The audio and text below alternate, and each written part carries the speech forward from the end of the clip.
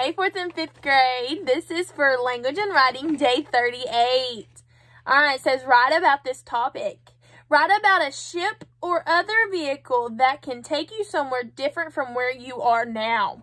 So tell me, you know, about where could a ship or, you know, an airplane or another, like a, a strange vehicle, where could it take you? Where would you want it to take you? I would want it to take me to the beach because that's where I would want to be at. So tell me in five sentences, where what would be a vehicle that could take you somewhere somewhere else from where you are right now so tell me about that five sentences bye guys